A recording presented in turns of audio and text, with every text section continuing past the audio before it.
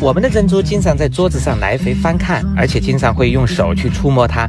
这个时候的珍珠身上就会沾上一些灰尘之类的脏东西。今天我们把珍珠集中起来抛一下光。可能很多朋友会认为抛光后的珍珠会更亮一些，其实这个抛光改变不了珍珠的大小、形状和光泽。抛光的作用呢，就是把珍珠身上沾的脏东西去除干净。光泽好的珍珠抛下光，它还是亮的；但光泽不好的珍珠，随便你怎么去抛它，它都是不亮的。这就像是一个五官长相帅气的小哥哥，他的英俊长相和洗一下脸是没有关系。还有朋友一定会认为抛光能把珍珠的瑕疵给去掉，其实珍珠的瑕疵是在母贝里生长的，抛光是肯定把它抛不掉。如果抛得掉的话，那大家看到的都是无瑕的珍珠了。